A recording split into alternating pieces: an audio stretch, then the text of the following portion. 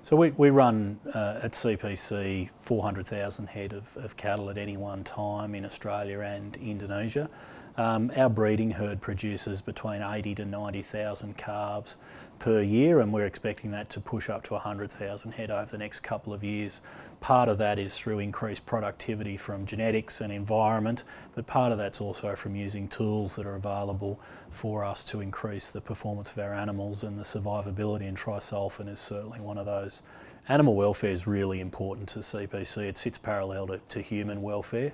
Um, animal welfare at CPC is something that we do every day, we talk about regularly.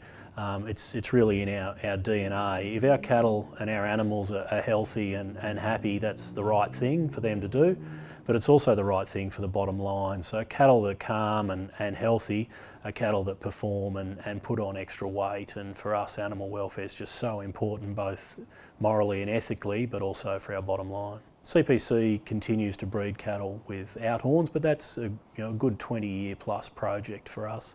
So in the meantime, we've been uh, dehorning our, our cattle for a long time. We're now applying Tri-Solfen to those animals as a, as a pain relief product that works straight away. Um, it not only stops the pain but reduces bleeding. We're also required to castrate our cattle um, for, the, for the male cattle that are going into the meat production chain and for us pain relief is really important part of that uh, operation. With the, the growing interest in consumers looking at social media and, and looking at other media platforms to find out more about their food, both the location of that, that food production but also the process that that food went through. Um, for us doing everything along the whole supply chain as best as possible is, is so important and that's where pain relief and Tri-Solfen fits in uh, to our business quite well.